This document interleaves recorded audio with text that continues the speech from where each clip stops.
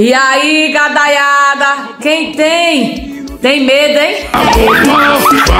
O Minto não conseguiu dormir sem antes fazer um vídeo falando sobre essa notícia aí, olha.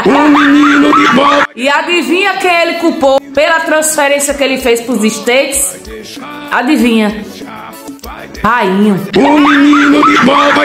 É, o culpado é Painho. Bora ver o vídeo. Segundo a Polícia Federal, eu enviei em dezembro de 22 para os Estados Unidos 800 mil reais à espera de um golpe. Enviei sim, da minha poupança do Banco do Brasil para o BB América.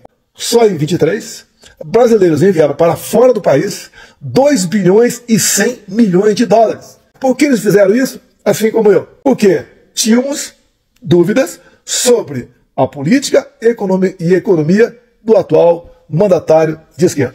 Viram aí, gadaiada? Agora vocês já podem dormir tranquilos, porque o Minto não tem culpa de nada, não. A culpa é de Painho. Beijinho no chifre, gadaiada. Ai, ai, ai, ai, tá chegando a hora.